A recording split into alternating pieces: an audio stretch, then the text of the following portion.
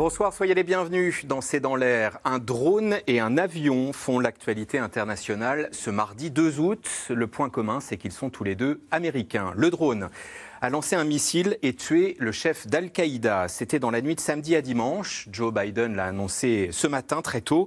Ayman al-Zawahiri, considéré comme le cerveau des attentats du 11 septembre, a été tué sur un balcon de Kaboul, d'après le récit américain.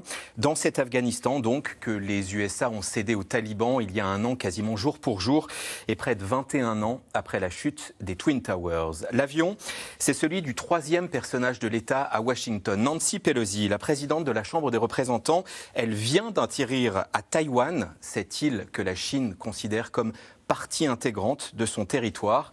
En guise d'accueil, des avions de chasse chinois ont traversé le détroit de Taïwan. Ajoutons à cela que les États-Unis sont de loin le pays occidental qui a dépensé le plus en soutien à l'Ukraine depuis le mois de février. Alors Chine, terroriste, Russie, qui a peur de l'Amérique? C'est le titre de notre émission ce soir. J'attends vos questions, SMS, Internet, réseaux sociaux. Quatre invités pour y répondre. Anthony Bélanger, vous êtes éditorialiste et spécialiste des questions internationales sur France Inter. Valérie Niquet, responsable du pôle Asie à la Fondation pour la recherche stratégique. Et votre dernier livre a pour titre Taïwan face à la Chine, c'est aux éditions Talendier. Anne Desine, professeure émérite à l'Université Paris-Nanterre, spécialiste des questions politiques et juridiques aux États-Unis. Votre dernier livre lui a pour titre Les États-Unis et la démocratie c'est chez l'Armatan. Et Gallagher Fenwick, reporter franco-américain.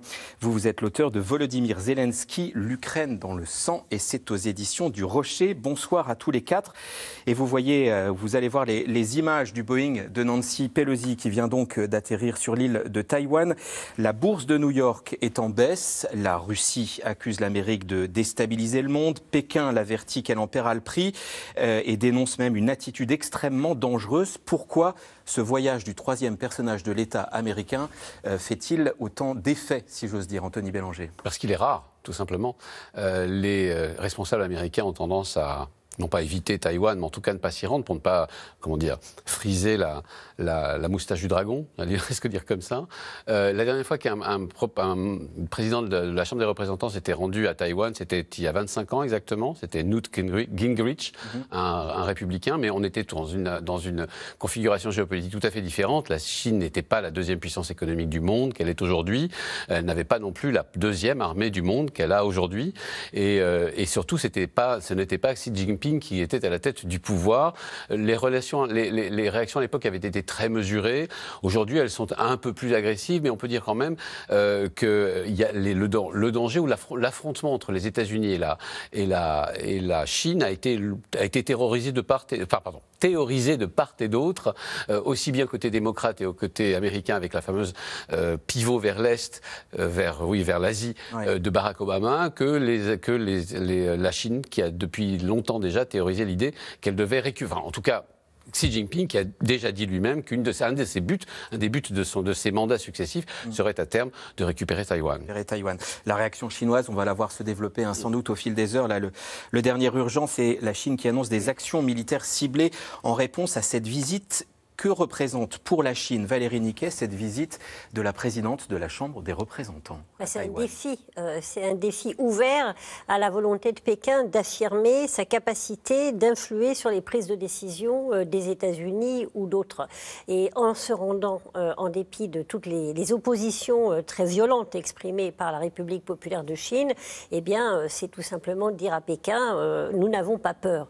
Et effectivement, la situation était très difficile pour les États-Unis. Si elle n'y allait pas, euh, ça pouvait déstabiliser complètement l'ensemble de la région qui se serait dit, bah, finalement, tous ceux, euh, le Japon, la Corée du Sud, euh, qui comptent sur les États-Unis pour, pour les aider au-delà de Taïwan, eh bien, si les États-Unis plient trop facilement devant Pékin, la perte de confiance est très importante. D'ailleurs, on verra ce qui se passe et quelles seront les réactions américaines s'il y a vraiment des frappes ciblées sur on peut imaginer les minuscules îlots, par exemple, qui sont tout près euh, des côtes chinoises et qui appartiennent à Taïwan. Ce serait évidemment quelque chose de très grave de la part de la République populaire de Chine. Donc c'est très important pour ça. Pékin n'a pas les moyens aujourd'hui de mm. s'opposer frontalement, militairement aux États-Unis, ni même de conquérir Taïwan. On a vu les difficultés que les Russes ont à entrer en Ukraine. Taïwan, c'est encore plus difficile. En revanche, en criant très fort, leur espoir, c'était que, euh, comme disait Sun Tzu, euh, remporter la victoire sans avoir à combattre, en, quelque sorte, faire peur suffisamment pour qu'on plie à l'avance. Ça n'est pas le cas. Donc euh, là, tout le monde est un peu coincé. Il faut que les Chinois fassent quelque chose. les Américains ne pouvaient pas ne pas y aller. Et Biden a également semé un peu le doute et peut-être a encouragé ces pressions chinoises quand il a déclaré il y a quelques semaines oh, le Pentagone n'est pas très favorable à cette visite. Les Chinois ont dû se dire mais accentuons la pression. Et finalement, les Américains sont en train de craquer et ils vont céder. Donc cette incertitude est aussi un élément euh, à prendre en compte. Parce que la visite, elle était prévue d'assez longue date et puis Nancy Pelosi a, eu le Covid. Juste, Valérie Niquet, pour, pour euh, fixer les choses en ce début d'émission, le statut de Taïwan, quel est-il? Ah, Très compliqué. Enfin, pas si compliqué que ça. Taïwan, c'est la République de Chine. Donc en fait, c'est... La République de Chine. Oui, qui a été créée en 1912, à la chute de l'Empire euh, mandchou. et donc, il y a eu ce régime, République de Chine, avec beaucoup de, de problèmes, la guerre avec le Japon, etc. Et lorsque les communistes chinois ont pris le pouvoir en 1949 sur le continent, euh, eh bien, euh, ce qui restait de la République de Chine s'est enfui et s'est réfugié à Taïwan. Donc, à Taïwan, on a la République de Chine et sur le continent, la République populaire de Chine. La seule chose, c'est qu'à Taïwan, il y a aussi des indépendantistes qui pensent que l'idée d'un rattachement à la Chine s'est terminée et qu'il faudrait qu'un jour Taïwan devienne indépendante, même s'ils sont très très prudents sur le sujet. Et euh, Pékin, en tout cas les communistes à Pékin, eux euh, affirment d'une manière euh, régulière, enfin c'est le cœur de leur, c'est un, un intérêt cardinal, comme ils disent, eh bien, Taïwan fait partie de la Chine. Ils se considèrent comme les héritiers euh, de la République de Chine, de l'Empire mandchou, et donc ils considèrent que Taïwan appartient à la Chine et doit leur revenir. Donc c'est quoi? C'est un pays semi-indépendant? C'est un pays, euh, on pourrait dire, un État indépendant de fait. Jusqu'en 71, c'est eux qui étaient à l'ONU. Ils ont perdu leur siège, euh, remplacé par la République populaire de Chine, ce qui explique tous les problèmes réguliers, leur représentation à l'Organisation mondiale de la santé. Et ils ont de moins en moins de pays, ça c'est quand même important, qui reconnaissent Taïwan. Il n'y en a plus que 14 aujourd'hui. Pourquoi? Parce que la Chine, contrairement à l'Allemagne de l'Est ou même à la Corée du Nord, refuse qu'un pays reconnaisse en même temps et Taïwan et la République populaire de Chine. Alors Nancy Pelosi dit que sa visite marque le soutien inconditionnel des États-Unis à, Taïwan. Anne désigne que cela n'entre pas en contradiction avec la politique américaine vis-à-vis -vis de la Chine. Est-ce qu'on en est sûr? Alors, il est sûr que ça n'arrange pas Biden, et c'est la raison pour laquelle il a laissé entendre que cette visite ne l'arrangeait pas. Surtout que c'est un petit peu trop tôt des élections de novembre. Et vous l'avez dit, elle devait y aller au printemps, elle a attrapé le Covid. Mais là, elle fait passer ses intérêts et le leg pour l'histoire avant la politique américaine, parce qu'elle sait qu'elle ne sera plus euh, présidente de la Chambre, elle ne va pas se représenter, elle fait partie des octogénaires ou quasi-octogénaires qui sont aux États-Unis avec Trump, Biden et le reste. Donc, comme elle a toujours défendu la liberté, la démocratie, elle a voulu euh, un petit peu la dernière chose avant qu'elle ne quitte la politique. Mais c'est aussi un petit peu différent parce que, certes, le dernier leader qui est allé, c'est Gingrich, mais à l'époque, c'était un républicain, mais c'était la présidence Clinton. Donc il n'y avait pas le même degré de risque. Mhm. Tandis que là, pour les Chinois qui refusent la notion de séparation des pouvoirs, ils considèrent qu'en bon autocrate, Biden n'a qu'à dire à Nancy Pelosi, vous n'allez pas à Taïwan et c'est fini. Sauf que ce, n'est pas tout à fait comme ça que ça se passe. On, on sait qui a décidé de ce voyage, c'est elle-même en, toute indépendance du pouvoir législatif vis-à-vis de l'exécutif, justement? En théorie, oui, puisque c'est la manière dont la démocratie américaine fonctionne. Il y a trois branches. Donc l'exécutif, ça c'est Biden, la Maison-Blanche. Le législatif, elle y joue un rôle prépondérant puisqu'elle est présidente de la Chambre des représentants. Et en cela, c'est le troisième personnage le plus important de l'État derrière le président et la vice-présidente Kamala Harris. Et puis il y a le judiciaire. Donc c'est effectivement Nancy Pelosi qui voulait absolument y aller. Anne Désine a parfaitement raison pour son leg. Et je trouve cela en tous les cas parfaitement égoïste, puisque quand on regarde les coûts-bénéfices d'un tel déplacement, où sont-ils? Quels bénéfices, même les États-Unis, vont-ils en tirer? Aucun. Et politiquement, très franchement, je ne suis pas certain que ça fasse bouger un, électorat américain à quelques mois des élections de mi-mandat, de mi-mandat, de, mi-mandat en novembre, qui sont euh, loin d'être gagnées pour, euh, pour le camp démocrate. Après, c'est vrai que Nancy Pelosi a une histoire avec la Chine, puisque dans les années 90, elle s'était déjà fait dégager, entre guillemets, Manu Militari de la place Tiananmen, après avoir exprimé euh, sa solidarité. Mais ce qu'elle fait par ce voyage, c'est qu'elle fait monter la température à un moment très inopportun entre deux puissances majeures et une rivalité qui s'accentue. Et ça n'aura probablement de bénéfices pour personne à travers le monde. Il faut quand même rappeler que Taïwan, il y a un enjeu économique majeur aussi, premier producteur de semi-conducteurs au monde, même si une partie de ces derniers sont fabriqués en Chine continentale. Donc il y a ce bouillonnement, il y a tout cela, mais pourquoi les semi-conducteurs dont on souffre de la pénurie euh, en ce moment. Donc c'est effectivement un élément important. On va redétailler tout ça. Les images d'abord. C'est aux alentours de 17h que le Boeing de Nancy Pelosi s'est posé à Taïwan devant les caméras du monde entier. Et en effet, dans un contexte international qui n'avait pas besoin de foyer de tension supplémentaire. Anne Maquignon et Christophe Roquet. L'intimidation n'aura finalement pas fonctionné. 22h42 à Taïwan, 16h42 en France, l'avion de Nancy Pelosi se pose sur le tarmac de Taipei. C'était il y a quelques minutes seulement. Une visite délicate, mais pour la Maison-Blanche, la présidente de la Chambre des représentants est dans son droit. Il n'y a pas de raison pour que Pékin fasse de cette visite, qui ne déroge pas à la doctrine américaine de longue date, une forme de crise ou de conflit. Il y a quelques jours pourtant, les autorités avaient tenté de dissuader Nancy Pelosi. Le président américain lui-même semblait embarrassé. Monsieur le Président, vous pensez que c'est une bonne idée que Nancy Pelosi se rende à Taïwan cet été? Eh bien, je pense que l'armée pense que ce n'est pas une bonne idée, mais je ne sais pas où on en est. Une mauvaise idée, car Nancy Pelosi n'est pas dans les petits papiers de la Chine elle n'hésite pas à critiquer ouvertement le régime de Pékin et dérange pour ses actes militants. En 1991, elle avait déroulé une bannière sur la place Tiananmen en mémoire des manifestants pro-démocratie. Elle s'est liée aussi d'amitié avec le Dalai Lama. Pour Pékin, obsédé par une Chine réunifiée, cette visite à Taïwan avait été fixée comme une ligne rouge à ne pas franchir. Une mise en garde directement adressée par Xi Jinping à Joe Biden il y a quelques jours, relayé sur la chaîne d'État chinoise. Ceux qui jouent avec le feu finissent par se brûler. J'espère que les États-Unis vont entendre ce point clairement. Des menaces martelées aujourd'hui encore. Les États-Unis auront assurément la responsabilité des conséquences et devront payer le prix de leur atteinte à la souveraineté et à la sécurité de la Chine.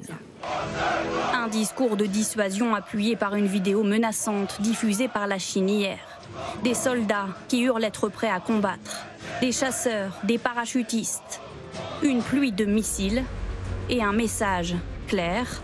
Tout ennemi qui osera nous envahir sera enterré ici. Mais jusqu'où la Chine est-elle prête à aller? Sur les réseaux sociaux chinois, les habitants partagent des vidéos d'engins militaires se déployant dans la province de Fujian qui fait face à Taïwan.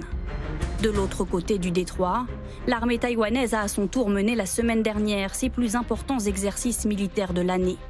Une tension exacerbée par la présence dans la région de 4000 soldats américains et indonésiens pour un exercice militaire là aussi. Le contexte régional est dangereux, accentué par une menace nucléaire généralisée, comme l'a souligné hier le secrétaire général de l'ONU en marge d'une conférence sur le traité de non-prolifération. Aujourd'hui, l'humanité est à un malentendu près, une erreur de calcul et c'est l'anéantissement nucléaire. Joe Biden veut entamer des négociations sur le contrôle des armes nucléaires, avec la Chine donc, mais aussi avec la Russie, Difficile de trouver un accord, alors que Moscou accuse les États-Unis de déstabiliser le monde en provoquant des tensions autour de Taïwan. Anne Désine, question téléspectateur. Pourquoi les Américains s'intéressent-ils tant à Taïwan? Alors, je ne suis pas sûre que tous les Américains s'intéressent à Taïwan, mais c'est un, un, sujet politique euh, sensible. Et puis, il faut voir que le contexte a. Euh, Anthony disait que c'était très différent en 97, mais entre-temps, il y a eu la présidence Trump. Il faut se rappeler que Trump a téléphoné au président taïwanais. que Mike Pompeo est allé à Taïwan. Et depuis qu'il n'est plus aux affaires, il y est retourné avec l'ancien ministre de la Défense, Esper.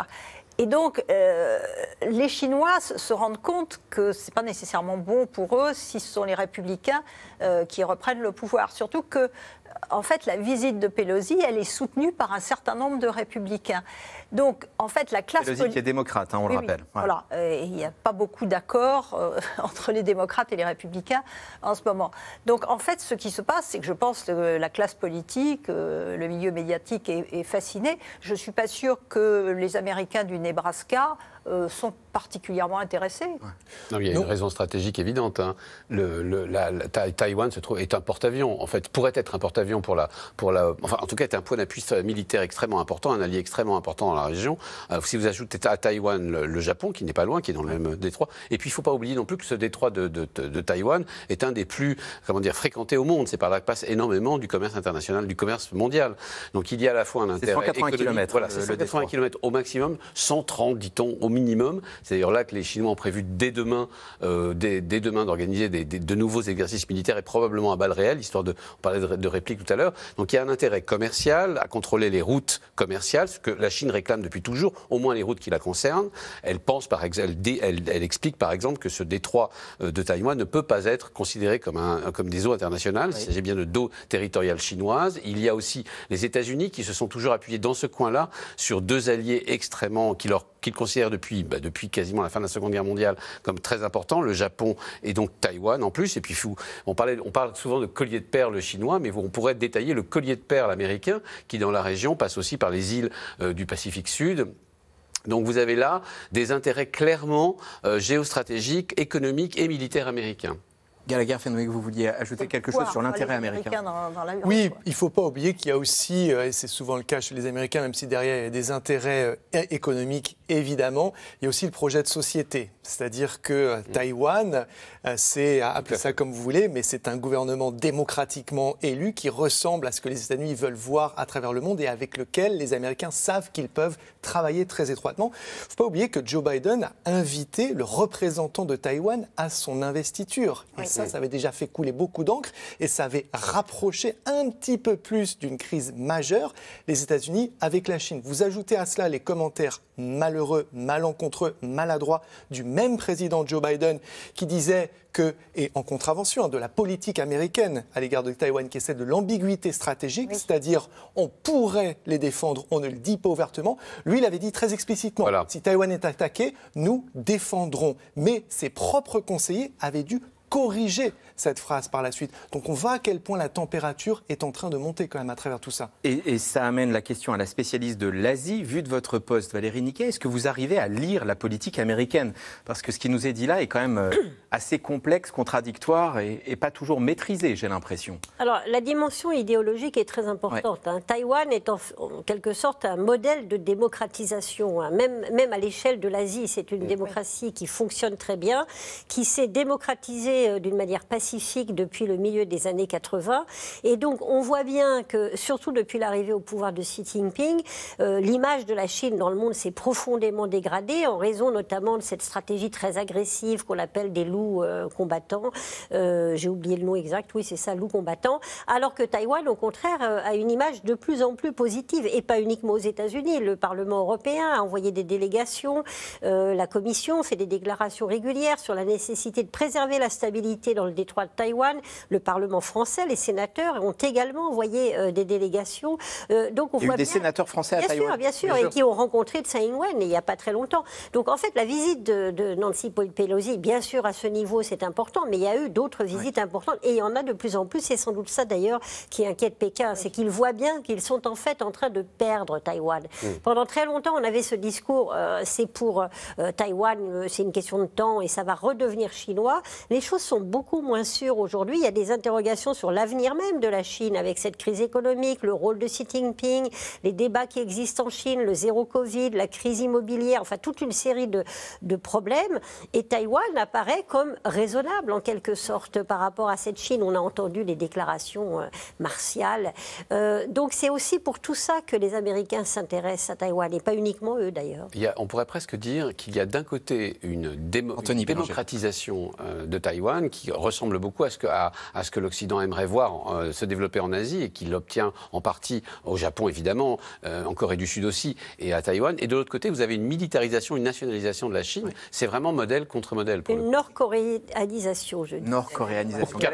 on, a, on a entendu tout à l'heure John Kirby parler au pupitre de la salle de presse de la Maison-Blanche. Très concrètement, il coordonne la communication stratégique du Conseil de sécurité nationale américain. Il parle évidemment des exercices militaires. C'est une sorte de porte-parole en matière de défense, de la Maison-Blanche. C'est exactement cela pour l'exécutif américain. Donc il parle, si vous voulez, des exercices très menaçants que la Chine mène. Et on passe souvent cet extrait-là. Mais il faut savoir que juste derrière, il a rappelé ce qu'est la politique officielle des mm. États-Unis à l'endroit de Taïwan. Et c'est la non-reconnaissance de l'indépendance de cet archipel. Et c'est là que se situe le curseur, si vous voulez, en matière d'intensité dans cette rivalité sur ce dossier entre les États-Unis euh, et euh, la Chine. Donc sur Taïwan, il faut être très explicite, les États-Unis ne reconnaissent pas l'indépendance, mais vont s'approcher de plus en plus de cela. Et c'est ça qui fait, entre guillemets, trembler du côté de Pékin. Et euh, par ailleurs, Anne Désine, les États-Unis n'ont pas les moyens en ce moment d'ouvrir un nouveau front militaire aussi mince soit-il. De toute façon, je ne pense pas que ce serait un front militaire, ce serait des livraisons d'armes, comme en Ukraine. Simplement, euh, cela commence à faire beaucoup, bah, beaucoup de dizaines de milliards de dollars qui, sont livrés en Ukraine, beaucoup d'armes. À titre de comparaison, euh, sous Donald Trump, il y avait eu livraison de 18 millions de dollars d'armement, ce qui paraît ridicule quand on voit tout ce qui est livré à l'Ukraine. Euh, dans la présidence Biden, on en est à un milliard de dollars. Néanmoins, dans le coin, il y a déjà des bases des soldats américains. Tout à fait. mais, pardon, quand, quand Biden s'est retiré d'Afghanistan de façon aussi catastrophique que nous savons, et on va y venir dans le deuxième Absolument. Sujet, euh, il savait que les Américains, après 20 ans de conflit, ne voulaient plus entendre parler de guerre. Donc il y a cette idée qu'ils ne veulent plus les boots on des, soldats sur le, sur le terrain. C'est-à-dire que euh, livrer des armes, ok, faire les drones, ok, mais euh, je, ne vois pas une implication directe des États-Unis. Anthony? Cela dit, l'Ukraine, c'est très intéressant parce que la guerre en Ukraine, du côté russe comme du côté ukrainien, sert un peu de. Enfin, tout le monde dans la région regarde ça. C'est-à-dire du côté. Euh, du côté taïwanais, on regarde beaucoup comment l'Ukraine résiste, et notamment en expliquant qu'il faudrait peut-être organiser une défense territoriale, il faudrait aussi peut-être avoir des tanks et des, des, euh, engins blindés plutôt que des avions ou des bateaux. Euh, et du côté de, la Chine, on regarde, les, vous, le soulignez tout à l'heure, les échecs de la, de la Russie, c'est-à-dire notamment parce que tout simplement l'armée de libération populaire chinoise est un peu une photocopie de l'armée de l'armée russe, c'est-à-dire qu'elle a, elle est organisée par exemple en matière logistique de la même manière que l'armée russe. Et on a bien vu que c'était ça qui pêchait euh, en Ukraine. Et sans expérience du combat, du tout. voilà. Et, il y a une deuxième chose qu'il faut toujours ne jamais oublier. Vous le soulignez aussi tout à l'heure, mais je pourrais un petit peu l'expliciter. On parlait tout à l'heure des 180 km de Détroit qui séparent la Chine de la 130 de Taïwan. Détroit, 130 ou 180. Euh, imaginez que ce serait le premier débarquement depuis la Seconde Guerre mondiale que les Chinois devraient organiser, et, et que la, différence, la distance entre la, la Grande-Bretagne et la France est de 30 km à peine, et qu'en plus, donc, et qu'il a fallu aux Américains pendant des années planifier l'organisation de, plus de, de, plusieurs milliers de, de, bateaux pour pouvoir réussir. Et à peine le premier débarquement en Normandie, donc c'était en juin 44. Les Chinois savent parfaitement, et vous le disiez, qu'ils n'ont pas les moyens, mais tout simplement techniques et militaires, ils l'ont dit eux-mêmes, de faire ce débarquement maintenant. Ils n'ont pas les milliers de bateaux, il faut, ils n'ont pas non plus le, la logistique nécessaire. Je ne suis pas en train de dire qu'ils ne se préparent pas à cela. Ou peut-être que c'est de la contre-information. Mais en état actuel, ils n'ont pas les moyens militaires, ils disent-ils eux-mêmes, de faire ce débarquement énorme que représenterait l'invasion de Taïwan. Euh, congrès du Parti communiste chinois à l'automne. Oui. Euh, Valérie Niquet, quelle, quelle implication ça a? Est-ce que ça incite à mettre la pression sur Taïwan? Alors, pour Xi Jinping, c'est peut-être pas mettre la pression sur Taïwan, mais en tout cas, c'est avoir l'air suffisamment puissant. Et c'est pour ça que je parlais de défi ou de camouflet. C'est vrai qu'en allant euh, en ne cédant pas aux pressions chinoises, euh, qui remplacent la puissance militaire par, euh, par le, volume des, critiques, eh bien, les États-Unis mettent Xi Jinping dans une position qui est de dire, vous voyez, vous criez très fort, mais vous ne pouvez rien faire. Vous ne nous empêchez pas d'agir comme nous l'entendons, ce qui, encore une fois, est bénéfique, je pense, pour la stabilité stratégique en Asie. Si les États-Unis commencent à montrer qu'ils ont peur de la Chine et qu'ils ne font plus rien, les réactions en chaîne dans toute l'Asie peuvent être extrêmement graves. Et la Chine peut elle-même se lancer dans des opérations en se disant, mais finalement, les ce qui s'est passé après l'Afghanistan, d'ailleurs en partie, l'idée, l'Amérique c'est fini, l'Occident ne réagit pas, on a euh, porte ouverte pour toutes les actions. Euh, mais Xi Jinping, c'est vrai, doit apparaître comme fort, comme puissant, d'autant plus, encore une fois, que je pense qu'en interne, il y a des critiques contre sa stratégie à la fois économique, zéro Covid, euh, d'agressivité qui, encore une fois, n'a pas eu des effets bénéfiques pour euh, la puissance chinoise euh, à l'extérieur, y compris économiquement. Il y a des sanctions économiques qui pèsent encore. Et, et donc, il va falloir peut-être qu'il fasse quelque chose, effectivement, mais sans doute plus à destination de la population. Donc, on peut imaginer des actions qui seraient très visible. Enfin, comment dirais-je Et Pardon de vous interrompre, mais euh, vis-à-vis de la population, je ne sais pas si ça a du sens de dire cela, mais de l'opinion chinoise, Taïwan a de l'importance? Alors ça, c'est très difficile à dire. Euh, selon le gouvernement chinois, oui, euh, Taïwan fait partie intégrante et il y a une espèce d'attachement sacré de la population chinoise à Taïwan. Je ne suis pas certaine que les... Alors, ceux, les Chinois qu'on voit très actifs sur Internet et qui sont souvent très nationalistes, sont ceux qu'on voit que le pouvoir laisse s'exprimer, puisqu'il une censure très stricte d'Internet en Chine aujourd'hui. Je pense que la population chinoise aujourd'hui, on a vu avec les mouvements de colère, de manifestations qui ont eu lieu il y a quelques semaines dans des provinces, c'est euh, leurs économies, euh, les investissements dans l'immobilier, euh, le zéro Covid, le chômage dans les campagnes. C'est beaucoup plus ça, à mon avis, plutôt que l'idée de reconquérir Taïwan, surtout si ça débouchait sur un effondrement économique pour la Chine. Gallagher Fenwick, vous vouliez ajouter quelque chose? Non, l'économie, c'est le mot-clé. C'est-à-dire quand on se concentre sur des conflits de, ce type, on a tendance à, penser aux forces aéronavales, etc. Mais si euh, la Russie nous apprend quelque chose aujourd'hui, c'est qu'il y a bien d'autres armes à disposition. Et à l'endroit des États-Unis, la Chine en a une qui est majeure, c'est l'économie, encore une fois. Xi Jinping doit répondre et il va répondre. L'interrogation, c'est comment? Mais je pense que oui, on peut parler de possibles accrochages entre euh, des euh, avions américains, euh, des avions chinois autour de la ligne médiane du détroit de Taïwan. Mais je pense que la réponse des gens, on en a une aujourd'hui, elle est de nature cyber, donc des attaques de cette nature-là. Mais aussi, économiquement, la Chine peut faire très très mal aux États-Unis. Et ça, ça se ressentira très concrètement du côté des États-Unis, qui est déjà un pays qui est déjà en situation d'hyperinflation. On va y revenir tout à l'heure. Cette question, Anthony Bélanger de Raymond, Alpes de Haute-Provence, la visite de Nancy Pelosi à Taïwan va-t-elle rapprocher encore plus Chine et Russie? On a euh, vu la Russie dire très vite l'Amérique déstabilise le monde avec cette, cette visite. Bonne question, mon capitaine. Euh, je pense que c'est vraiment pas le problème là pour le coup. Euh, je pense vraiment que la Chine a un problème euh, clairement, a un problème. Vous disiez économique, de route commerciale, de rapport avec le, de rapport stratégique et géostratégique avec la, avec le, avec le, les États-Unis, et qu'en plus elle n'a pas envie de mêler la Russie à ça pour une autre raison, qui est que l'exemple que donne la Russie en Ukraine n'est pas forcément, comment dire la, réussite que voudrait montrer euh, n'est pas forcément à la hauteur de ce que voudrait montrer la, Chine dans, sa, propre sous-région. C'est-à-dire que l'embarras de la Russie d'ici, qui est empêtré, grosso modo, on peut le dire quand même, hein, dans une guerre qui dure depuis cinq mois, euh, n'est pas du tout le, type de, rapport que la, Chine a envie d'entretenir avec les États-Unis. Il faut jamais oublier que euh, les Chinois, contrairement aux Russes et contrairement aux Occidentaux, a pour elle le temps, et l'a toujours eu. Elle a toujours, le facteur temps a toujours été extrêmement important. On se venge aujourd'hui d'une certaine façon, du siècle de l'humiliation, qui a duré de 1850 à 1950.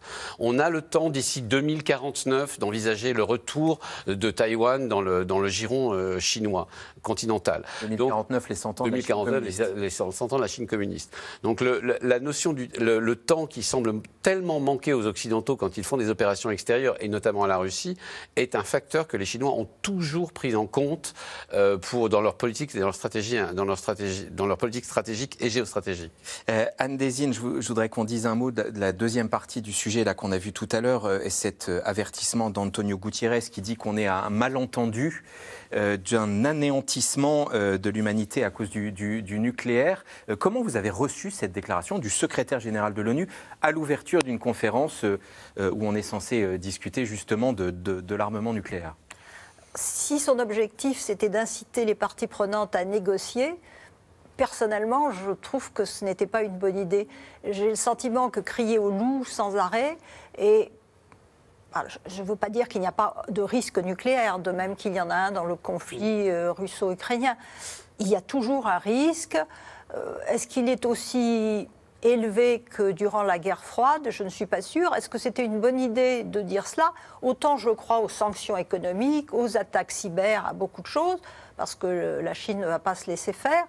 Autant, très honnêtement, je ne vois pas un conflit nucléaire. Donc j'étais très très surprise quand j'ai lu ce qu'il avait dit. Bah, en fait, le, problème, c'est que l'ONU euh, était un peu absent des, des derniers conflits récents. On a pu beaucoup reprocher à l'ONU de ne pas avoir été la voix de l'humanité. C'est une manière de reprendre un peu. C'est une manière de reprendre la main, après avoir un peu repris la main d'ailleurs dans le, dans le, vous savez, dans le, dans le traité conclu, conclu entre l'Ukraine et la Russie sur le, sur le blé, puisque l'ONU a servi d'arbitre ou du moins de, de, facilitateur, ce qui est son rôle. Donc euh, je, je, pense, comme vous, que ce n'était pas une bonne idée. Et je pense pense que l'ONU a un problème de, on va dire, de relations publiques en ce moment. Euh, la, conférence, pour être précis, c'est celle des 191 pays qui ont signé le traité de non-prolifération nucléaire. Euh, euh, est-ce qu'on est à un stade des négociations où on va parler de comment dire, de faire régresser les arsenaux. Non, c'est plutôt de limiter leur augmentation. On en est là. éviter la, dissémination, en voilà. si vous voulez. 13 000 armes nucléaires, a dit Gutiérrez. Oui, avec les États-Unis et la Russie qui possèdent 90% du stock mondial d'ogives euh, nucléaires. Ce qui répond accessoirement à une question téléspectateur sur la capacité nucléaire de la Chine, qui est beaucoup plus faible et que bien, celle bien inférieure. Et, dans oui, mais même s'ils sont en train d'en construire euh, davantage. Mais c'est vrai que quand vous regardez les chiffres, évidemment, la, Russie est numéro un, les, les États-Unis juste derrière l'un des enjeux majeurs, c'est la renégociation d'un traité START entre ces deux pays qui, encore une fois, vise à non seulement euh, réduire, mais surtout éliminer une partie du stock. Mais vu le scénario, je pense que Antonio Gutiérrez, le secrétaire général des Nations Unies, quand il fait cette déclaration, il ne pense pas euh, à la Chine, il pense à, la Russie, qu'il ne nomme pas, ce qui est euh, extrêmement faible de sa part, parce que dans la déclaration conjointe qu'il y a eu de Berlin, Washington et Londres, eux ont très explicitement désigné Vladimir Poutine et la, et la Fédération de Russie comme étant responsable de l'instrumentalisation du signalement nucléaire et du retour euh, dans notre monde de cette menace qui semblait peu ou prou avoir euh, disparu. Donc c'est vrai, Anthony a raison, l'ONU est profondément, si vous voulez, absente aujourd'hui. Mais pourquoi? Et c'est pour ça que Volodymyr Zelensky avait appelé cette institution à se dissoudre. Elle a en son sein même la Russie, qui est au Conseil de sécurité, qui paralyse tout et qui est responsable du retour de cette menace pour l'ensemble de l'humanité. Valérie Niquet, avant de parler de l'Afghanistan, je vous ai coupé sur la capacité nucléaire chinoise parce qu'il y avait une question téléspectateur là-dessus. Voudrais... Oui, c'est euh, quelques centaines d'ogives. Alors, on n'a pas les chiffres précis. Et la Chine euh, développe ses capacités, mais on est très très loin des capacités américaines et, et russes, ce qui limiterait d'ailleurs un éventuel chantage nucléaire chinois contre les États-Unis, ce qui rend beaucoup plus problématique. Les Chinois n'ont pas non plus de sous-marins nucléaires lanceurs d'engins opérationnels, ce qui veut dire qu'ils sont quand même assez vulnérables à une frappe euh, euh, américaine. Un point important sur les négociations entre les États-Unis éventuellement et euh, la Russie, c'est les deux voudraient en fait inclure la Chine pour que la Chine fasse partie de ces négociations. La Chine refuse, mais a toujours refusé en disant vous d'abord, nous on a un arsenal tellement faible qu'on refuse de participer à ces négociations et c'est un vrai problème pour les pays de la région. Alors l'actualité internationale aura fait la une des médias américains toute la journée. C'est ce matin, lundi soir aux États-Unis, que Joe Biden a annoncé l'autre événement de ce début de semaine. Les Américains ont eu la peau d'Ayman euh, pardon, al-Zawahiri, le chef d'Al-Qaïda, le cerveau présumé des attentats du 11 septembre, un missile lancé par un drone sur un balcon de Kaboul, d'après le récit américain. Léa Demergian et Benoît Thébault.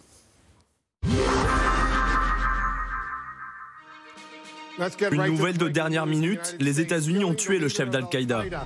L'opération a tué l'un des terroristes les plus recherchés et l'un des organisateurs des attentats du 11 septembre. Depuis hier, c'est l'information qui fait la une de toutes les télés américaines. La mort du numéro 1 d'Al-Qaïda, annoncée solennellement et en personne par le président américain. Mes chers compatriotes, samedi, sous mes ordres, les États-Unis ont mené avec succès une frappe aérienne à Kaboul, en Afghanistan, qui a tué l'émir d'Al-Qaïda, Ayman al-Zawahiri. Peu importe le temps que cela prendra, peu importe où vous vous cachez, si vous constituez une menace pour notre population, les États-Unis vous trouveront et vous élimineront. Ayman al-Zawahiri, 71 ans, l'un des terroristes les plus recherchés au monde. Chef de l'organisation Al-Qaïda, il était traqué par les Américains depuis plus de 20 ans. Sa tête avait même été mise à prix pour 25 millions de dollars. 6h18 ce dimanche, c'est au cœur de Kaboul, dans le quartier des ambassadeurs, qu'Ayman al-Zawahiri est tué alors qu'il se trouve sur un balcon, lui qui ne sortait jamais de chez lui. Selon plusieurs médias occidentaux, cette photo montrerait le lieu de la frappe. Et sur ces images prises à l'aube, une colonne de poussière s'élève à l'endroit de l'attaque. L'opération est l'œuvre de la CIA, qui avait repéré le vétéran djihadiste depuis plusieurs mois. Aucune présence militaire américaine au sol, c'est un tir de drone qui abat Al-Zawahiri. Aucune confirmation officielle des États-Unis, mais selon plusieurs sources, la frappe aurait été menée par un missile Hellfire R9X, une arme dotée de six lames qui découpe la cible mais n'explose pas. Ayman al-Zawahiri, né au Caire en 1951 dans une famille de la bourgeoisie sunnite, des religieux engagés auprès des frères musulmans. Lui rejoint la confrérie à l'âge de 15 ans. Le jeune homme obtient ensuite son diplôme de médecin, mais son obsession renverser le pouvoir égyptien et instaurer un régime islamiste. Fin des années 90, al-Zawahiri rejoint Al-Qaïda et devient le bras droit de Ben Laden, entre eux, la même idéologie djihadiste, le même islam radical, la même violence terroriste envers l'Occident, réaffirmée dans cette vidéo de propagande de 2011. Nous implorons Dieu pour que les États-Unis aient un hiver rigoureux et sombre qui n'aboutira qu'à des défaites et des pertes. Lorsque Ben Laden est tué par un commando américain au Pakistan, c'est lui l'ancien disciple qui lui succède. Et pour cause, il est l'un des cerveaux des attentats du 11 septembre 2001 qui ont fait près de 3000 victimes aux États-Unis. Surnommé le professeur, il hérite d'une organisation affaiblie par l'émergence d'autres groupes terroristes. La mort d'Al-Zawahiri est tout de même une victoire symbolique pour Joe Biden, une façon d'atténuer son échec un an après le départ chaotique des troupes américaines d'Afghanistan. Un retrait qui avait ouvert la voie du pouvoir aux talibans, les laissant prendre le contrôle du pays. Des talibans accusés ce matin par les Américains d'avoir rompu un accord signé en 2020, dans lequel ils s'engageaient à ne plus accueillir les responsables d'Al-Qaïda sur le sol afghan. En hébergeant et en abritant le chef d'Al-Qaïda à Kaboul, les talibans ont grossièrement violé l'accord de Doha et leurs engagements réitérés de ne pas permettre que le territoire afghan soit utilisé par des terroristes pour menacer la sécurité d'autres pays. La mort d'Al-Zawahiri provoquera-t-elle l'affaiblissement progressif du groupe terroriste? En août 2020, Al-Qaïda avait déjà perdu son numéro 2, tué par les services secrets israéliens à Téhéran lors d'une mission commanditée par Washington. Anne Désine, aux États-Unis, le souvenir des attentats du 11 septembre est encore extrêmement vif. Oui, et en termes d'impact de ce qui vient de se passer, c'est vrai que c'est très très important pour toutes les familles de ceux qui ont perdu euh, des êtres proches dans les attentats du 11 septembre. Il faut aussi se rappeler que les attentats du 11 septembre, c'était bien sûr plus de 3000 morts, mais dès 1998, et Wadi était euh, à la manœuvre là aussi, il y avait les attentats dans les ambassades en Afrique, et ensuite il y a eu en 2000 le USS Cole, et à chaque fois c'était plusieurs dizaines, parfois des centaines de blessés et de morts. Donc il y a tous ces gens-là qui sont très mobilisés, par exemple les pompiers de New York ont bien apprécié le geste, le chef des pompiers qui était là en 2001 a expliqué que c'était un acte symbolique très fort et que c'était important. Pour les autres, je ne sais pas. Sur le plan politique, en revanche, euh, Biden a essayé d'envoyer le message que, bien que n'étant plus présent physiquement en Afghanistan, c'était une opération de contre-terrorisme réussie et que donc il était possible, peut-être, de pouvoir contrôler euh, les groupes terroristes sans être pressants.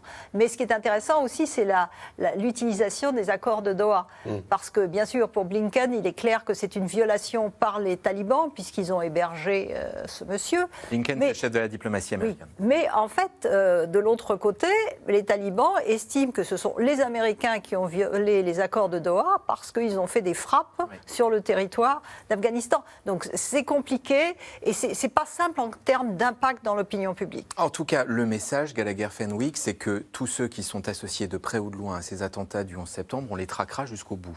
Oui, c'est précisément, ce sont les, mots hein, de, Joe Biden qui parle de justice, lui, mais en réalité, euh, ce qui me frappe, c'est qu'au moment où des projets de société sont justement en train de s'affronter à l'échelle de la planète, à savoir d'un côté la démocratie ouverte face à l'autoritarisme brutal, les Américains mènent une opération qui n'est ni plus ni moins qu'un assassinat extrajudiciaire, donc hors de tout cadre légal, et ça, c'est extrêmement difficile à justifier, c'est-à-dire que vous ne pouvez pas dire justice, des Russes... Justice a été rendue. C'est-à-dire que à qui et c'est ça où vous trouvez tout à l'heure, vous demandiez quel était le lien entre Xi Jinping et, Vladimir Poutine. Ces hommes-là ne sont pas les meilleurs alliés, mais ils se retrouvent sous la bannière de celles et ceux qui refusent un monde unipolaire, mm. dominé par un Occident, incarné grosso modo par les États-Unis, qui veulent imposer un modèle de société avec eux étant seuls jugés partis qui est terroriste, qui commet des crimes de guerre et qui peut décider de où se situe l'aiguille de, la justice. En l'occurrence, là, on tue. Alors, on nous parle de ce drone kinétique dépourvu de charges explosives avec des lames qui se déploient. La raison pour laquelle les Américains, je le rappelle, utilisent cette arme aujourd'hui, c'est parce qu'au moment de la débâcle, lorsqu'ils sont sortis de Kaboul, ils ont essayé de tuer un supposé membre d'Al-Qaïda qui s'était avéré être un travailleur d'une ONG. Ils l'ont tué lui et toute sa famille, ses enfants, etc. Le Pentagone avait dû faire des excuses euh, à l'époque très, euh, très publiquement. Donc il y a quand même, il ne faut pas l'oublier en toile de fond, ces questions déontologiques, sachant que Pareillement, les États-Unis n'ont pas ratifié les statuts de Rome. Donc pourquoi ne pas essayer de traduire en justice Rome, c'est la justice internationale. Voilà, qui sont responsables, probablement responsables de crimes effectivement absolument odieux tels que le 11 septembre. Anthony Bélanger, évidemment, les talibans savaient qu'Ayman al-Zawahiri était à Kaboul. Ah bah il n'y avait pas moyen de faire autrement. Parce qu'en plus, il n'était pas dans n'importe quel quartier. non, mais parce qu'ils disent qu'ils ne savaient pas. Non, non, mais... Oh bah oui, les pauvres chéris. Non, voilà, non, euh, non, non. Faire préciser ça. Il a, été, il a été abattu ou tué, abattu, euh, par un drone américain dans le quartier de Shirpur. Le quartier de Shirpur, c'est quasiment le quartier diplomatique de, de, de, de Kaboul. C'est au centre de Kaboul. Il s'agit d'un quartier de villas et de palais. Les talibans ont succédé à leurs prédécesseurs qui avaient, euh, qui avaient d'ailleurs construit probablement équipé ces palais. personne ne pouvait ignorer dans ce quartier qui est en plus contrôlé par extrêmement euh, surveillé, euh, qu'il était là. C'est d'autant plus évident que euh, Azawahiri se, montrait régulièrement à son balcon. C'est-à-dire qu'en fait, il pensait vraiment être dans un état suffisamment en sécurité pour pouvoir aller prendre l'air frais au balcon. Et donc ça veut dire que les talibans, qui ont besoin quand même de l'aide internationale pour construire leur pays, là, le fait d'avoir la preuve qu'ils abritaient le numéro 1 d'Al-Qaïda peut, Écoutez, je peux même faire mon, mon mea culpa, si vous voulez, parce que j'ai fait partie de ceux qui, quand la, prise de, la, prise de pouvoir des talibans, avaient expliqué que bon, c'était pas forcément les mêmes. Parce que c'est vrai que l'image qu'ils donnaient était de ces talibans qui avaient passé 10 ans à l'extérieur du pays et qui avaient négocié avec les Américains à Doha euh, cet accord de paix. Euh, or, il se trouve que mois après mois, semaine après semaine, en fait, je me rends compte qu'il s'agit bien des mêmes.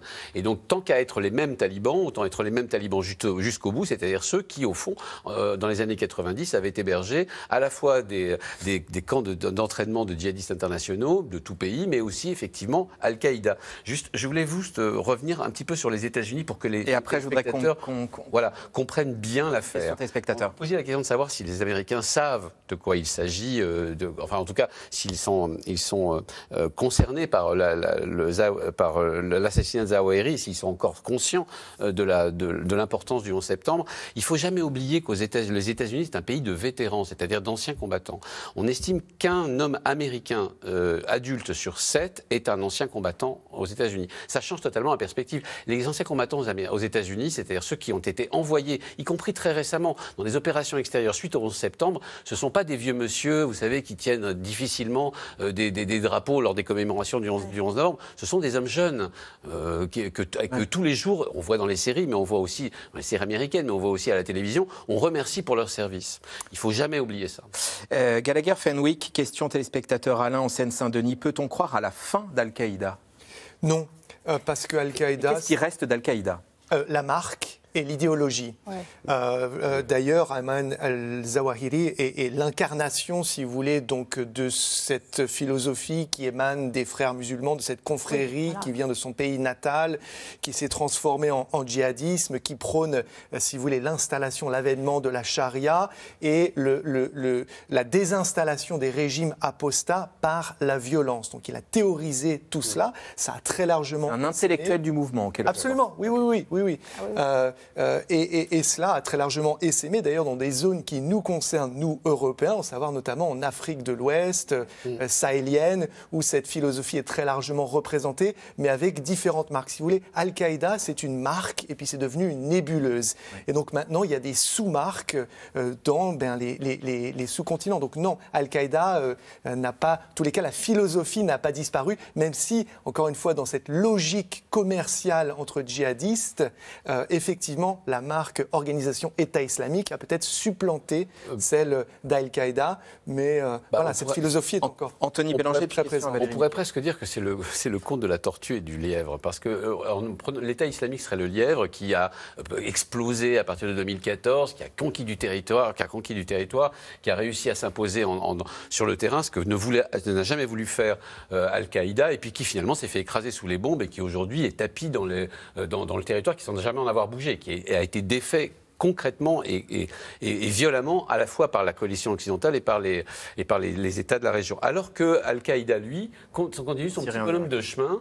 Euh, depuis des années, en sous-main, continue d'accumuler de, de, l'argent, notamment grâce au Shabab euh, de Somaliens, et qui, par ailleurs, euh, dont les franchises ont plutôt réussi. Alors, il y en a certaines qui ont été écrasées. Celle en Arabie Saoudite l'a été dès 2006. Mais vous avez quand même une franchise en Afrique de l'Ouest qui est, qui, est très réussie, qui, enfin, qui réussit, excusez moi de parler comme ça, mais enfin, qui, qui pose de sérieux problèmes de, de, sécurité aux ensembles de pays de la région. Vous avez la, la franchise à Shabab qui, elle, en plus, rapporte de l'argent, ça tombe bien. Vous avez une des franchises au Moyen-Orient, notamment en Égypte. Zawahiri tenait beaucoup à l'Égypte parce que c'est son pays d'origine et parce qu'il déteste le régime militaire chez égyptien. Ah, euh, or, il y a une, une franchise d'Al-Qaïda qui obtient de, de qui met en échec l'armée égyptienne, notamment dans le Sinaï. Vous avez une franchise en Asie du Sud, on l'oublie souvent, mais euh, en Asie du Sud, il y a aussi des franchises en ce moment, aussi bien en Philippines qu'en Indonésie. C'est peut-être lui qui, petit à petit, avec le temps sous-main, comme le lièvre la fable, est en train de gagner la partie. Euh, euh, un mot, Valérie Niquet, on parlait des talibans. Talibans Chine, il y a des liens il y a des liens, oui, effectivement. Euh, il, y a des, liens et euh, certains groupes, mais vraiment euh, assez minoritaires, originaires du Xinjiang et souvent en réaction à la politique de répression très très forte de la Chine au Xinjiang, vont soit au Pakistan ou dans les zones tribales ou même en Afghanistan. Donc il y a des liens qui existent que la Chine met constamment en avant. Mais il ne faut pas non plus oublier que la Chine avait des liens très étroits avec les talibans en Afghanistan avant les attentats de 2001, euh, certaines entreprises chinoises avaient déjà amorcé des contrats pour euh, des installations de télécommunications euh, dans l'Afghanistan des talibans. On dit beaucoup que l'ambassadeur de Chine au Pakistan, si ma mémoire est bonne, avait été un des seuls à être reçu par le Mollah Omar à l'époque, avant les attentats du 11 septembre. Et aujourd'hui, les Chinois reçoivent de nouveau les talibans et, et essayent de voir quelles affaires faire avec l'Afghanistan. Donc les choses sont extrêmement complexes dans la région. On revient aux États Un an et demi après son arrivée à la Maison-Blanche, Joe Biden est à la tête d'une Amérique plus polarisée que jamais. Et on peut compter sur Donald Trump, qui brûle de repartir dans une course à la présidentielle pour souffler sur les braises. Laszlo Gelabert et Nicolas Baudry-Dasson. Sur la même musique que ses meetings de campagne, Donald Trump, de retour à Washington, un an et demi après son départ de la Maison-Blanche et l'assaut du Capitole. Les mois se sont écoulés, mais les thèmes n'ont pas changé. Immigration, criminalité, même si certaines références peuvent surprendre. J'ai par exemple dit au président chinois Xi, avez-vous un problème de drogue? Non, non, non. Pourquoi posez-vous une telle question Il ne savait presque pas de quoi je parlais. J'ai dit, qu'est-ce que vous en pensez? Eh bien, si quelqu'un vend de la drogue, il obtient un procès rapide, un procès rapide. L'occasion pour le potentiel candidat républicain en 2024 de dresser un sombre tableau des États-Unis et d'attaquer sans concession le bilan des démocrates. Nous sommes une nation en déclin Nous sommes une nation défaillante. Nous sommes une nation qui connaît l'inflation la plus élevée depuis 49 ans et où le marché boursier vient de terminer le pire semestre de l'année depuis 1872. Une attaque en règle contre Joe Biden, car au-delà des outrances, Donald Trump frappe là, où ça fait mal. Plombé par une inflation historique et un PIB qui recule pour la deuxième fois consécutive, l'économie américaine est au ralenti. À quatre mois des élections de mi-mandat, Joe Biden tente de défendre son bilan, coûte que coûte. Notre marché du travail reste historiquement fort. Notre économie a créé plus de 9 millions d'emplois depuis mon entrée en fonction, en grande partie grâce aux personnes présentes sur cette scène. Tenter de rassurer les Américains, à l'heure où la cote de popularité de Joe Biden dégringole, seulement 38% d'opinion favorable. À 79 ans, le président de la première puissance mondiale a parfois montré quelques signes de faiblesse, souvent très commentés, comme en juin dernier, lorsqu'il chute à vélo. Testé positif au Covid il y a deux semaines, Joe Biden veut montrer qu'il est toujours aux commandes. Salut tout le monde, ici Joe Biden, testé positif au Covid. J'avais travaillé à domicile pendant les deux prochains jours et je me sens bien, tout va bien. Commandeur et moi avons un peu de travail. Mais manque de chance, après avoir été testé négatif ce mercredi, Joe Biden est de nouveau testé positif ce week-end. Du pain béni pour Donald Trump, qui tourne en dérision l'état de santé de son adversaire politique sur son réseau social. Il souffre de démence. Joe envisage de déménager dans l'une de ses belles maisons de soins infirmiers du Wisconsin. La provocation, un art désormais maîtrisé par d'autres élus conservateurs très proches de Donald Trump, comme Matt Gaetz, fringant sénateur républicain de 40 ans, aussi vulgaire que misogyne, lors d'un meeting en Floride. Comment se fait-il que les femmes qui ont le moins de chances de tomber enceintes soient celles qui se soucient le plus de l'avortement? Personne ne veut vous faire un enfant si vous êtes moche. Elles font genre 1m57, 158 kg, et elles sont du genre à dire Donnez-moi mon avortement ou je vais me lever et manifester. Manifester? En réaction, une militante d'association progressiste très active sur les réseaux sociaux riposte avec une levée de fonds. Nous avons collecté 2 millions de dollars pour les fonds pour l'avortement à travers le pays. Dans cette Amérique profondément divisée, Joe Biden a en tout cas eu une bonne surprise cette semaine. Un accord décroché dans un contexte inflationniste, à force de compromis avec des élus de son propre camp, pour un plan social et écologique historique d'environ 400 milliards de dollars. Une version moins ambitieuse que son fameux plan Build Back Better, qui prévoyait 3500 milliards de dollars. Anne Désine, aujourd'hui, qui est le mieux placé avant les élections euh, de mi-mandat Les démocrates ou les républicains? Pour les élections de novembre, la règle, c'est que généralement, le parti au pouvoir, donc là, les démocrates, perd les élections de mi-mandat. Et euh, les chiffres de Biden, on vient de les entendre, 38% qui trouvent qu'il a fait du bon travail et euh, simplement 30% qui voudraient qu'il se représente, ça semble très très mal parti. Donc en fait, la question qu'il faut se poser, c'est combien de personnes vont aller voter en novembre et est-ce que les gens qui vont aller voter vont aller voter sur l'inflation, qui est un vrai vrai problème. L'essence à 5 dollars, enfin le gallon quand même, pas le litre, c'est terrifiant pour les Américains qui sont sans arrêt en voiture. Donc vont-ils se prononcer sur l'inflation ou bien est-ce qu'il peut y avoir une mobilisation des démocrates, des indépendants sur la suppression du droit à l'avortement, mais aussi d'autres décisions de la Cour suprême, cette Cour suprême qui n'est plus conservatrice, elle est radicale, qui donc a mis un trait sur le droit à l'avortement, a également rendu plus impossible pour les gouverneurs démocrates ou les municipalités démocrates de contrôler un tout petit peu le port d'armes. Et puis surtout, ce qui est, gravissime, et c'est pour ça que si cette loi est adoptée, c'est pas encore tout à fait gagné, mais si cette loi est adoptée, c'est une vraie victoire. La Cour suprême a démantelé le pouvoir des agences, et en particulier l'Agence de protection de l'environnement, pour réguler. La Cour suprême, dans sa grande sagesse, a dit si la loi ne dit pas précisément que l'agence peut réguler le nombre d'œufs, etc., pour lutter contre le réchauffement climatique, c'est illégal. Il faut que la loi ait tout prévu. Sauf que la loi, elle date des années 70 et par définition, elle ne savait pas ce qui allait se passer, elle ne pouvait rien prévoir. Donc il y a une vraie mobilisation de ces, trois groupes, plus les LGBT, etc. pour pousser à aller voter. Mais pour le moment, ce n'est pas sûr et il faudrait quand même un miracle pour que les démocrates l'emportent en novembre. Gallagher Fenwick, question téléspectateur Prosper dans l'un. Où est passé Kamala Harris? Ah. C'est une excellente question et je n'ai pas la réponse. Prosper apprécie votre Et euh, je pense que si vous voulez, ça fait un moment en réalité qu'on nous pose cette question. C'était l'un des grands espoirs du Parti démocrate parce que c'est vrai qu'elle a l'apparence très charismatique, mais elle a très fortement déçu. Je me souviens notamment de son voyage, son déplacement ici même à Paris sa conférence de presse, on avait l'impression d'une écolière qui lisait ses notes, qui était absolument dépourvue, que ce soit de charisme justement, mais aussi de vision euh, stratégique. Donc euh, elle a fortement déçu du côté démocrate. Si vous voulez, elle était censée euh, en fait glaner, accumuler, agréger des paramètres, c'est-à-dire le paramètre minorité visible, mais aussi un paramètre de modération. Même si elle vient de Californie, elle n'est pas de gauche ou d'extrême gauche. C'est une ancienne procureure qui était plutôt dure en matière de politique sociale, mais euh, forçait de constater que, eh bien, malgré un, un président qui n'est pas franchement euh, euh, archi présent et, lui non plus euh, très charismatique,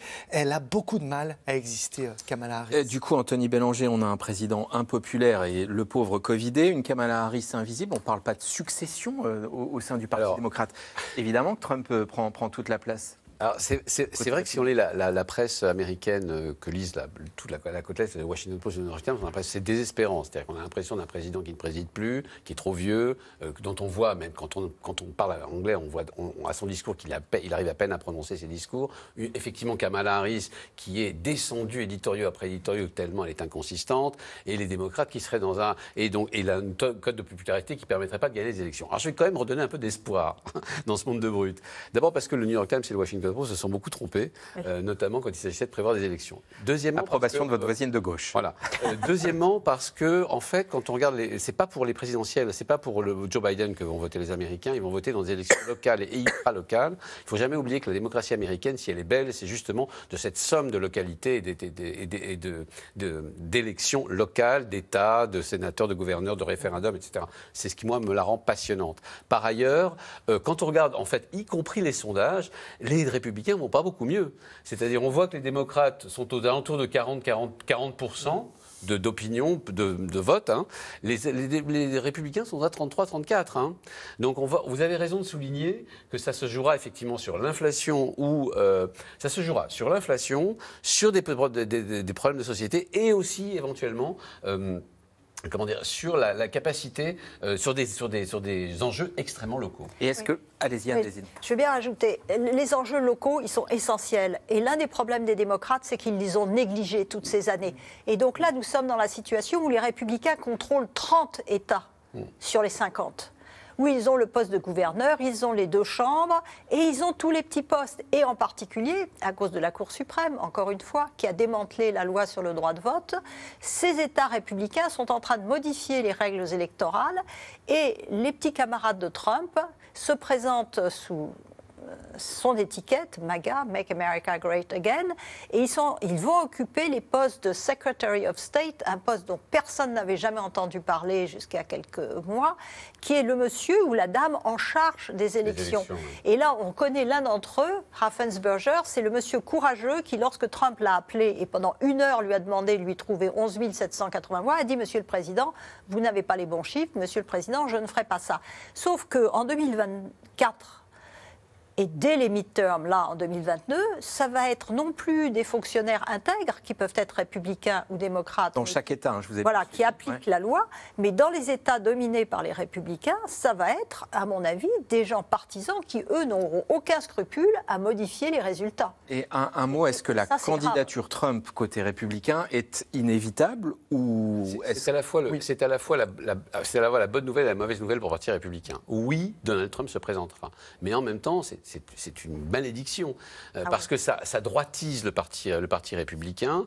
Euh, en plus, on ne sait pas encore, on verra au mi-terme si ça fait perdre ou gagner les républicains. Il y a aussi ça, il y a aussi le facteur Trump. Il a mis en avant des candidats ou décidé de ne pas soutenir d'autres candidats qui peut-être sont inéligibles dans une élection, dans, le, dans, le, dans la réalité des élections. Mais par ailleurs, qu'il se présente, oui, et que les Américains étant 4 ans, dans 3 ans maintenant, 2 ans et demi, envie de voter pour quelqu'un qui d'aussi euh, vivant. Oui, vivant, ça sert. Non, clivant, clivant, pardonnez-moi. Mais vivant, vous avez, par rapport à Joe Biden, vous n'avez pas tort. Oui, alors c'est vrai. Lui, au moins, au moins, il, bouge. Euh, c'est pas évident. Mais il y a maintenant une majorité, pardon, de républicains qui ne veulent pas que Trump se présente parce mm. qu'ils sont conscients des risques parce qu'ils se rendent bien compte que c'est une figure polarisante et que ce qui a permis l'élection de Biden, c'est qu'il y avait Trump en face et qu'ils ne voulaient plus de Trump. Et puis, parce que, alors là, c'est assez cynique, ils se disent, de toute façon, ils ne pourraient faire qu'un mandat, donc il vaut mieux qu'on choisisse tout de suite, par exemple, le gouverneur de Floride, qui, lui, va se faire élire et il pourra faire 8 ans. Allez, les questions des téléspectateurs, c'est maintenant. Et on reste sur les États-Unis. Vous demandiez la parole, Gallagher Fenwick. Euh, Donald Trump a-t-il été ou sera-t-il inquiété par la justice américaine dans l'affaire de l'assaut du Capitole? S'il y a quelque chose qui caractérise Donald Trump, c'est sa capacité à échapper aux affaires et à ne jamais être condamné ou alors à solder cela discrètement par des énormes chèques. Dans ce cas-ci, ce ne serait pas possible. Mais euh, oui, c'est un, un risque, hein, sa mise en, en inculpation. Pour autant, ça ne lui portera pas préjudice parce que celles et ceux qui votent pour lui eh bien, continueront de penser qu'il y a une chasse aux sorcières et un acharnement contre le seul à les représenter. Là, à ce stade, euh, juridiquement, il est quoi? Inculpé? Quel est, quel est le, bon, le bon terme? Non, il n'est il est pas, il est, il est pas inculpé, mais il pourrait, il pourrait effectivement l'être au terme du travail de cette commission. Comment se porte l'économie américaine? Joe Biden, jusque-là, a-t-il pris de bonnes décisions? Anne Désine. En fait, c'est très difficile parce que euh, on voit l'inflation d'un côté et euh, pour certains, dont Larry Summers, euh, c'est de sa faute parce qu'il a injecté trop de liquidités par le plan Covid, etc. Euh, de l'autre côté, lui insiste sur les créations d'emplois. Et c'est vrai que quelque part, euh, à partir du moment où il y a eu pénurie de main-d'œuvre, les, salariés gagnent plus. Il y a eu une augmentation du, taux de salaire minimum, etc. Et cette création de, de jobs absolument faramineuse. Mais bon, pour l'Américain de la rue qui voit le prix des denrées qu'il achète tous les jours et le prix de son essence augmenter, euh, il a le sentiment que la politique économique de, l'administration Biden, c'est un échec total. Euh, Valérie Niquet, avant de reprendre les questions téléspectateurs, quel regard, au fond, la Chine porte-t-elle sur ce pays? On a vu le reportage avec des responsables qui tiennent des propos de plus en plus radicaux, un pays de plus en plus polarisé. Est-ce qu'on se dit que le géant américain, par ce biais-là, est de plus en plus fragile? Alors, le discours officiel en Chine, c'est effectivement de dire que l'Amérique est terminée et qu'il y a des problèmes intérieurs tels que c'est un pays, c'est extrêmement affaibli. En même même temps, les Chinois rêvent d'Amérique. Tous les mm. dirigeants chinois ont leurs enfants qui étudient aux États-Unis. Je crois qu'encore aujourd'hui, la fille de Xi Jinping est aux États-Unis.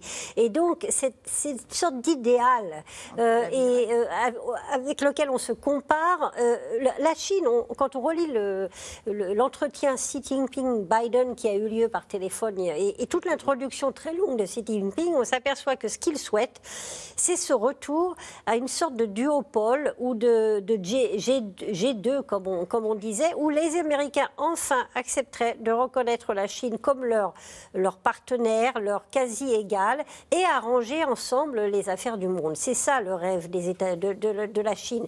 Et évidemment, le, le, camouflet actuel avec Pelosi euh, les en éloigne, mais, c'est le rêve de la Chine. Une Amérique forte avec une Chine forte qui gère le monde.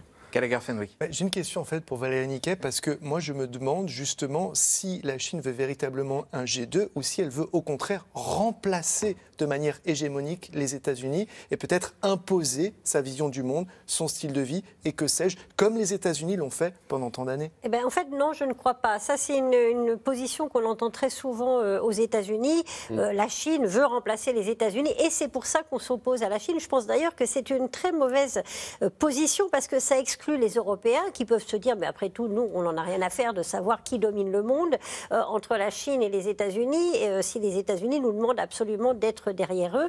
Non, non, je crois que la Chine a envie de créer un espace où elle impose sa vision, effectivement euh, en Asie notamment, ne pas voir revenir un Japon puissant, récupérer Taïwan, dans les pays qu'on disait en développement, euh, où euh, finalement il n'y a pas de valeur morale, il n'y a pas tout le discours sur les.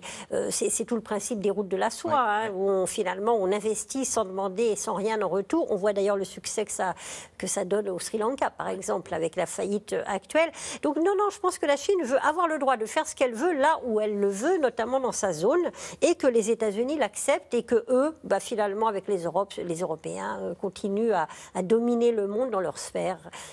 Voilà. La réponse vous satisfait? Oui, Question téléspectateur, les partisans de Trump sont-ils toujours aussi nombreux et aussi fanatisés Ah oui, oui. Euh, alors, après, c'est une des forces de Donald Trump. Hein. Vous savez, en France, on parle de faire une campagne de premier tour et de second tour euh, au moment de la présidentielle. Lui, il fait clairement, il va faire dans les deux ans qui viennent une campagne de premier tour. C'est-à-dire, il va mobiliser ses partisans qui sont extrêmement mobilisables euh, sur les réseaux sociaux. Aussi bien, euh, il, adore faire des, meetings. Je rappelle quand même que c'est le président. ce président n'a jamais cessé, même en président, de faire des meetings. Jamais. Le premier mois de sa présidence, il était déjà reparti au temps de Texas, je crois, pour faire un meeting de, de ce qui n'était plus une campagne donc, ce qu'il aime, c'est mobiliser les siens, euh, peser sur les élections, sur les, euh, sur les candidats républicains qui pourraient, euh, qui pourraient, enfin, sur les primaires républicaines entre eux dans les États et imposer ces candidats, peser sur et, et, au fond arriver en 2024 comme le candidat évident du,